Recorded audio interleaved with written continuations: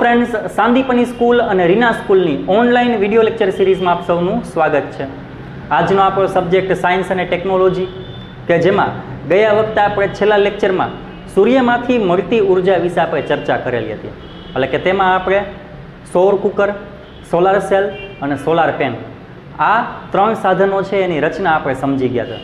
એના ફાયદા જોયા હતા, પછી મર્યાદા જોઈ હતી આ બધે બધાની આપણે ચર્ચા કરી લીધી હતી.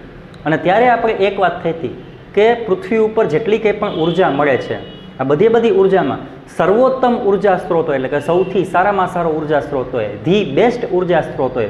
આપણે દેશી ભાષામાં કહીએ તો ચાક્કા જેવો ઊર્જા સ્ત્રોત હોય, તો એ છે સૂર્ય. કારણ કે એમાંથી મળતી ઊર્જા કોઈ દિવસ પૂરી થવાની જ નથી.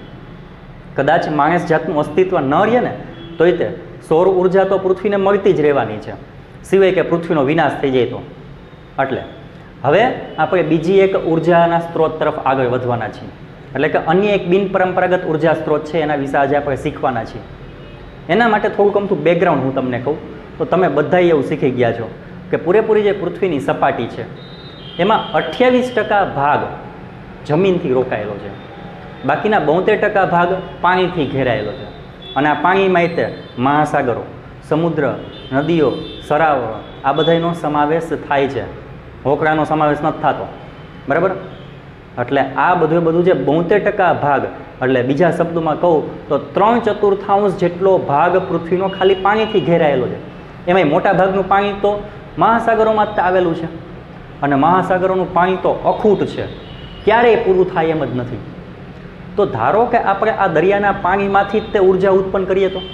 કારણ કે દરિયાનું પાણી આમ તો બીજી રીતે આપણને કંઈ ઉપયોગી થવાનું નથી. એનો આપણે પીવામાં ક્યાંય ઉપયોગ કરતા નથી કે ખેતી કામમાં ક્યાંય ઉપયોગ કરતા નથી. તો એમાંથી વિદ્યુત ઊર્જા ઉત્પન્ન કરી તો?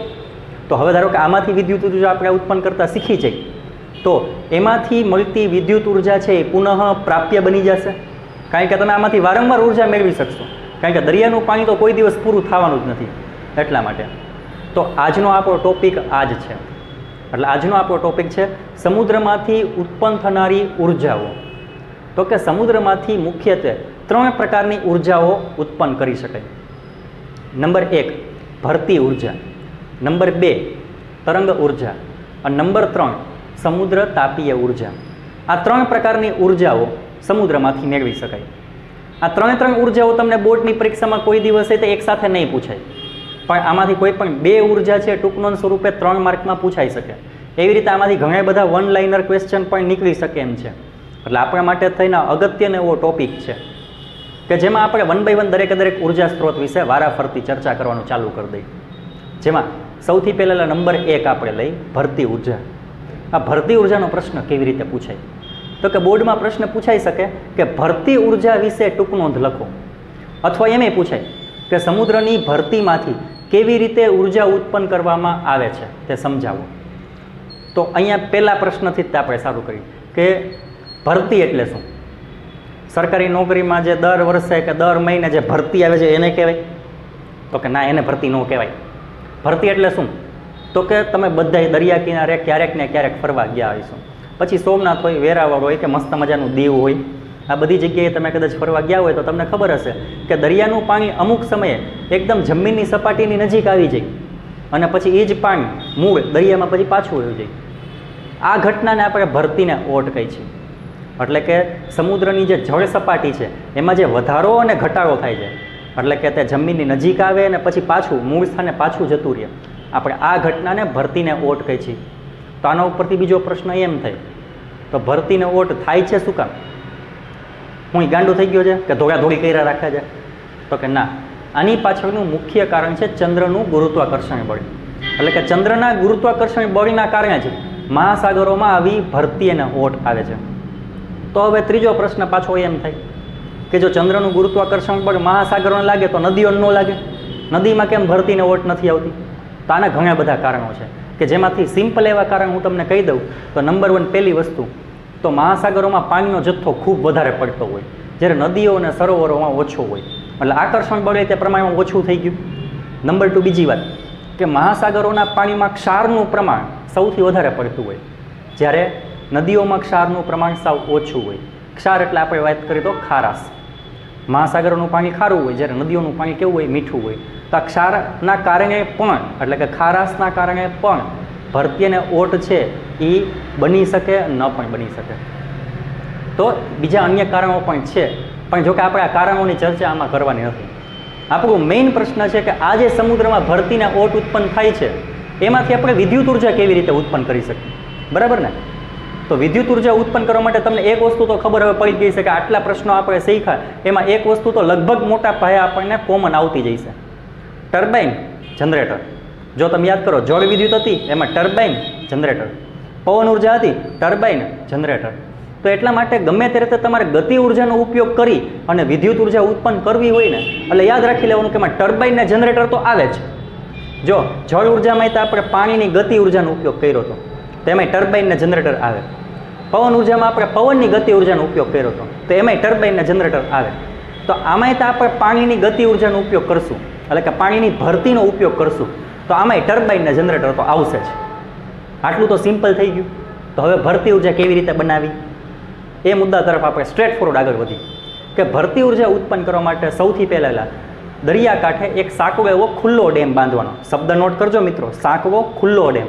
ખુલ્લો ડેમ એટલા માટે કારણ કે ભરતીના પાણી ડેમમાં આવે તો તરત તરત ડેમમાં પાણીનો સંગ્રહ થવો જોઈએ. ડેમમાં તે પાણી જમા થવું જોઈએ. હવે ડેમમાં પાણી જમા થઈ ગયું. હવે શું થશે કે ઓટ આવશે. એટલે ઓટ આવશે એટલે એ બધું બધું પાણી દરિયામાં પાછું જશે. એટલે ત્યારે જ તે જે ડેમના નીચેના દરવાજાથી એ પાણી દરિયામાં પાછું જતું હોય ત્યારે રસ્તામાં આપણે વચ્ચે ગોઠવી દેશું ટર્બાઇન. અને ટર્બાઇન તરત તરત ભ્રમણ કરશે. અને ટર્બાઇન સીધે સીધું કોની સાથે જોડાયેલું હોય? જનરેટર સાથે. તો આમ આ ભરતીની જે ગતિ ઊર્જા હતી, એનો ઉપયોગ કરીને આપણે વિદ્યુત ઊર્જા ઉત્પન્ન કરી. આનો ફાયદો છે, એ તો આપણે અગાઉ વધતા ચર્ચા કરી ગયા, કે દરિયામાં ભરતી છે, એ તો સતત ઉત્પન્ન થયા જ રાખવાની છે. એવો એકે દિવસ નહીં હોય કે જ્યારે સમુદ્રમાં ભરતીને ઓટ ન આવી હોય.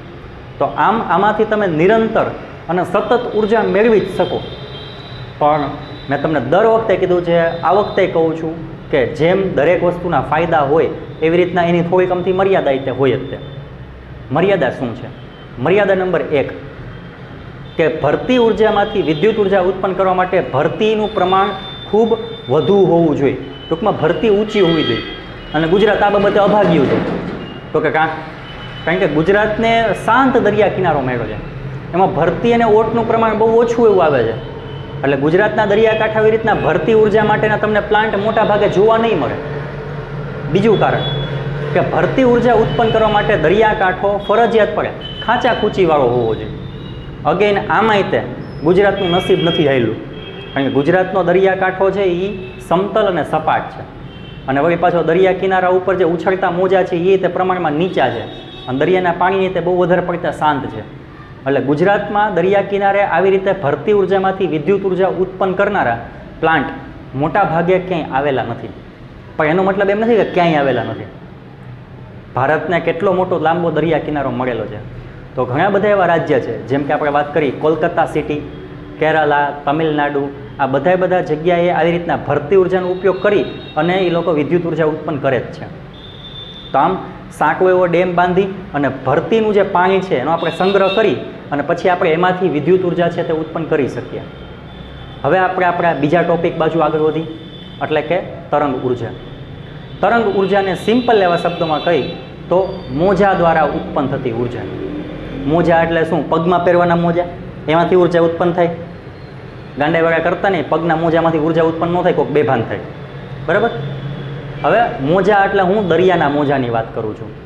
દરિયામાં જે ઉછળતા પ્રચંડ એવા જે તાકાતવાળા મોજા હોય, તમને ખબર હશે કે પ્રચંડ એવી તાકાત હોય કે સાહીઠથી સિત્તેર ટનવાળા જે મોટા એવા સ્ટીમર હોય, મોટા જહાજ હોય, એને ડૂબાવી દે. તો હવે આપણે એની એવી પ્રચંડ એવી તાકાત છે. એનો ઉપયોગ કરીને ધારો કે વિદ્યુત ઊર્જા ઉત્પન્ન કરી તો. મિકેનિઝમ આમાં તે સિમ્પલ જ છે કે તરંગ ઊર્જા છે, એની ગતિ ઉર્જાનો ઉપયોગ કરવાનો છે આપણે ટર્બાઇનને ભ્રમણ કરવામાં એટલે કે આ મોજા દ્વારા આપણે ટર્બાઇનને કરાવશું ભ્રમણ. અને ટર્બાઇન સાથે જોડાયેલું હોય શું જનરેટર તો આપોઆપ જ તે વિદ્યુત ઊર્જા ઉત્પન્ન થશે જ તે. તો વળી પાછો પ્રશ્ન થાય કે તો સર, ભરતી ઊર્જા અને તરંગ ઊર્જા બે વચ્ચે ડિફરન્સ શું લ્યો તો? બેમાં ટર્બાઇન આવે છે બેયમાં જનરેટર આવે છે. યાદ કેમ રાખવું આમાં? તમે ગોટાકા કરો તો સાહેબ આમ ન હાલે. જો ડિફરન્સ બેઝિક સિમ્પલ છે કે ભરતી ઉર્જામાં જે ટર્બાઇન અને જનરેટરનું આખે આખું મિકેનિઝમ હતું, એ આપણે દરિયા કાંઠે રાખ્યું હતું. જ્યારે તરંગ ઊર્જા છે, એના માટે ટર્બાઇન અને જનરેટરની વ્યવસ્થા તમે કાંઠે ન કરી શકો. કારણ કે તરંગો દરિયાના મોજા છે કાંઠા સુધી આવે, ત્યાં સુધીમાં તો નબળા પડી જાય. તો પછી ફાયદો શું? એટલે પૂરેપૂરો લબાચો છે, તે આપણે દરિયામાં વચ્ચે કોઈ મજબૂત એવું પ્લેટફોર્મ બનાવવું પડે. અને ત્યાં આ બધો બધો લબાચો છે, એ સ્થાપિત કરવો પડે. બીજો ડિફરન્સ કહું. ભરતી ઉર્જામાં એક સાંકડા ડેમની જરૂર પડે. તરંગ ઉર્જામાં આવ્યો કે સાંકડો ડેમ બાંધવાનો જ નથી આવતો. એટલે આ બે બેઝિક એવા ડિફરન્સ છે કે જેના કારણે ભરતી ઊર્જા અને તરંગ ઊર્જા આ બે એકબીજાથી અલગ પડે છે. ફરીથી એક વખત જો રિવાઇન્ડ કરાવી દઉં કે ભરતી ઉર્જામાં આપણે દરિયાકાંઠે એક સાંકડો ડેમ બાંધતા હતા. અને ભરતીનું પાણી છે ને આપણે સંગ્રહ કરતા હતા. અને એમાંથી આપણે ઊર્જા ઉત્પન્ન કરતા હતા. જ્યારે તરંગ ઉર્જામાં શું કરવું છે? તો કે દરિયામાં તે જે પ્રચંડ રીતે જે ઉછળતા મોજા છે બહુ તાકાતવાળા મોજા છે. એમાં આપણે મધ દરિયે વચ્ચે દરિયે જ તે. આપણે ટર્બાઇન ગોઠવી અને એના દ્વારા તે જનરેટરને ભ્રમણ કરાવી છે. અને એમાંથી આપણે વિદ્યુત ઊર્જા ઉત્પન્ન કરી છે. એટલે બે વચ્ચેનો ડિફરન્સ ખાસ યાદ રાખવાનો છે. તો આજના સેશનમાં આપણે સમુદ્રમાંથી ઉત્પન્ન થતી ઉર્જામાં બે ટોપિક શીખ્યા. ત્રીજા ટોપિક વિશે આપણે નેક્સ્ટ સેશનમાં ચર્ચા કરશું. અને જો તમને આ વીડિયો પસંદ આવે છે, તો તમે વિડીયોને લાઈક કરો. લાઈક કરો. ફરીથી કહું છું, વીડિયો તમને પસંદ આવે છે, લાઈક કરવાનું ભૂલતા નહીં. બીજી વસ્તુ મેં તમને કીધેલી કે જે તમે લોકો નથી કરતા, આ વિડીયોને મેક્સિમમ શેર કરો. જો શિક્ષણ ઉપર બધાનો અધિકાર છે અને બધા બાળકને ઉત્તમ શિક્ષણ મળવું જ જોઈએ, જો તમને આ વીડિયો સારો લાગે છે અને તમે ઉત્તમ શિક્ષણ મેળવો છો, તો બાકીના વિદ્યાર્થીઓ સુધી, પછી ભલે તે તમારી સાથે ન ભણતો હોય, તો પણ તેને પણ પહોંચાડો. કદાચ તે વિદ્યાર્થી નબળી પરિસ્થિતિવાળો હોય અને એને કદાચ આપણા વીડિયો પસંદ આવે, આપણામાંથી વધારે પડતું સારું એવું શીખે, તો કદાચ એના આશીર્વાદથી તમારે તે બોર્ડમાં વધારે માર્ક આવી જાય તો? ગમે તેમ આપણે તો એક સારું કામ કરવા માટે થઈને એક માધ્યમ જ તે બનવાનું છે. અને જો હજુ પણ આપે આ ચેનલને સબસ્ક્રાઈબ ન કરેલી હોય, તો સૌથી પહેલાં ચેનલને સબસ્ક્રાઈબ કરી નાખો. જેથી કરીને આપણી આ ચેનલ ઉપર મુકાતા અલગ અલગ સબ્જેક્ટના જેટલા રોજ લેક્ચર્સ છે, તેનો લાભ તમને નિરંતર મળતો રહે. જય હિન્દ, વંદે માતરમ.